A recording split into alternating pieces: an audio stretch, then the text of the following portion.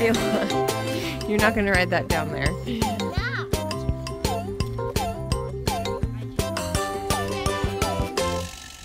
Yeah.